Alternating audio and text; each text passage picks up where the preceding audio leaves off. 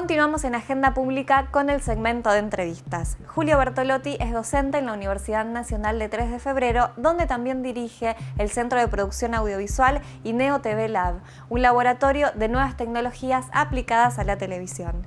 Es egresado de la Escuela de Realización Cinematográfica del INCA, fue productor en diversos medios nacionales y hoy se ocupa del despliegue de la televisión digital en Argentina.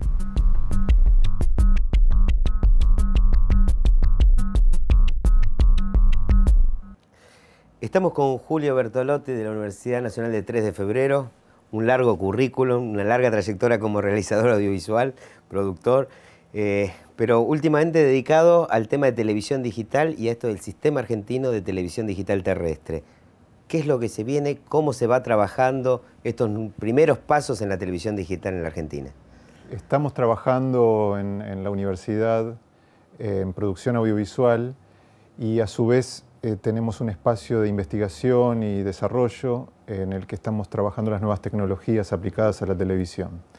Y desde allí estamos sí explorando, viendo, tratando de aprender de qué se trata este nuevo mundo, este nuevo juguete. Em, y colaborando en lo que podemos para sí, facilitar algunos temas del despliegue de la televisión digital en Argentina.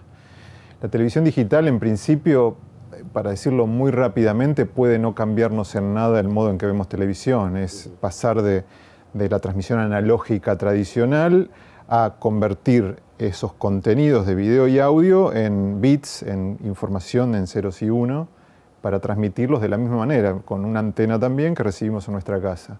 Em, de hecho, ya tenemos televisión digital en varios otros servicios, el servicios de distribución satelital o cables que ya están digitalizados. En principio, el sistema que se está armando en este momento en el país por parte del Estado es un sistema de televisión digital abierta, de canales abiertos digitales. Em, ahora, como decía, por ahí de entrada es prácticamente lo mismo, porque vamos a ver con mejor calidad si tenemos un buen televisor y buena recepción, con mejor sonido, también si tenemos mejores parlantes y mejor recepción, eh, los mismos contenidos a menos que empecemos a aprovechar los recursos más accesibles económicamente para tener mejores contenidos y nuevas producciones. A propósito de eso, de eso no, indudablemente la televisión digital o el sistema creado en la Argentina parece tener como objetivo precisamente es un cambio de paradigma en la producción, es decir, generar nuevos contenidos televisivos con mayor participación, con nuevas voces, con nuevos productores o productores que habían quedado relegados, con realizadores que la gente en los medios masivos no conocía o en las, en las cadenas de televisión que circulan a diario en la Argentina la gente eh, tenía acceso y esta gente, estos nuevos productores no tenían ningún tipo de pantalla. este cambio de paradigma o de filosofía en la manera de generar contenidos eh, se va viendo, es un camino que falta recorrer mucho, eh, o ya los, el, televidente común puede, puede acceder a una nueva televisión?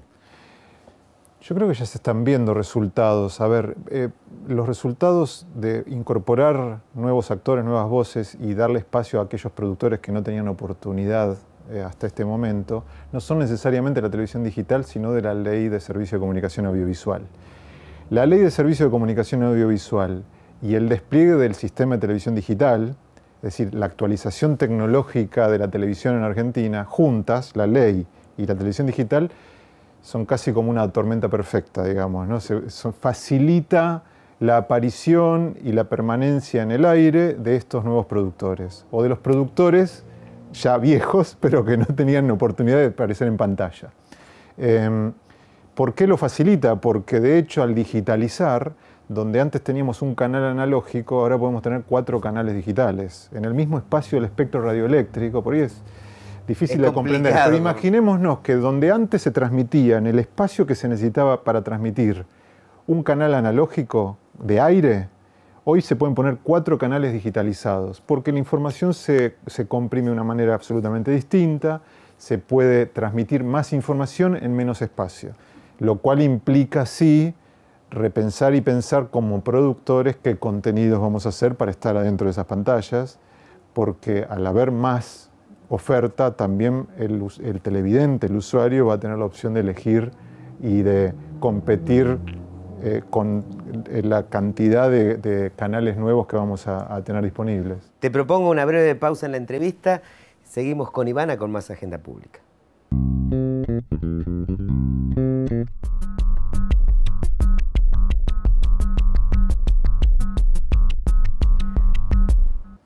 Seguimos con Julio Bertolotti en Agenda Pública con el tema de televisión digital. Una de las posibilidades eh, a partir de la incorporación de nuevas tecnologías, en este caso en, materia televisiva, tiene que ver con esta posibilidad de la interactividad. Es decir, un sistema que eh, ya se ha creado, eh, que todavía no, sé si, no sé si en esta altura ya está presente en algún lugar, en algún canal donde funciona el, el famoso Shinga, que permite la interactividad eh, con aquel que produce contenidos. ¿Hasta dónde tiene, qué alcance tiene esa interactividad?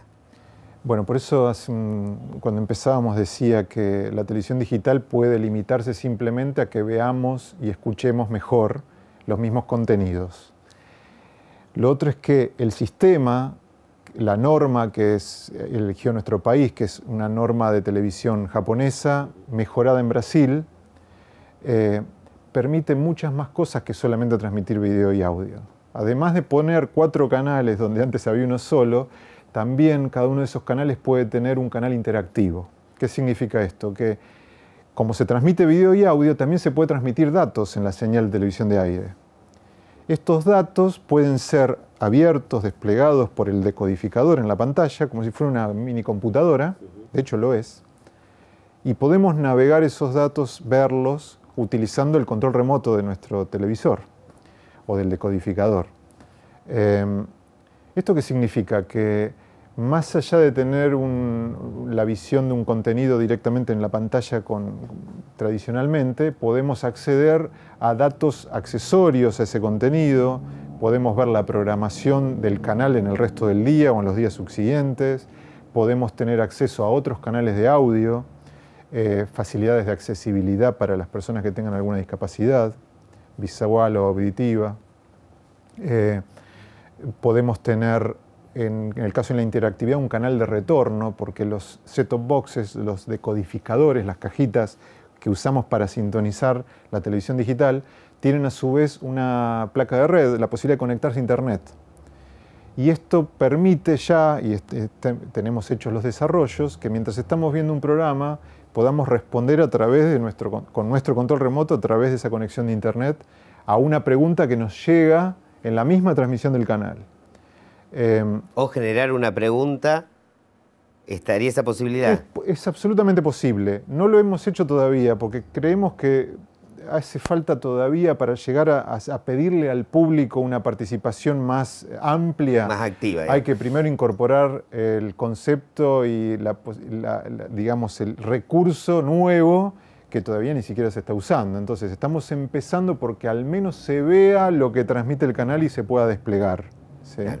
Pero perfectamente ese dispositivo puede estar conectado a Internet y hacer desde educación a distancia, algo que nos interesa mucho como universidad, hasta eh, comercio electrónico y un elemento muy importante, sobre todo para la formación de ciudadanía y la inclusión social, es gobierno electrónico. Es decir, eh, mientras estamos viendo un programa podemos estar recibiendo una serie de encuestas no vinculantes por el momento, por lo cual podemos estar respondiendo si nos interesa que la autopista pase por tal lugar o no, si estamos de acuerdo con la política medioambiental o si estamos de acuerdo con la ley, el proyecto de ley que se va a votar próximamente en la Cámara de Diputados nacional o provincial. Eh, todo esto se puede hacer, digo todavía no vinculante, porque por el momento no hay una identificación fehaciente de quién responde. Puede ser mi hija de tres años o yo en mi casa con el control remoto, eh, y a veces ella tiene más razón que yo. y digo, tarde o temprano podemos cargar nuestros datos, nuestros datos completos, verificarlos con algún código y hacer algo también vinculante, como se puede hacer por Internet. Muchísimas gracias, Julio. Fue Julio Bertolotti que pasó por Agenda Pública.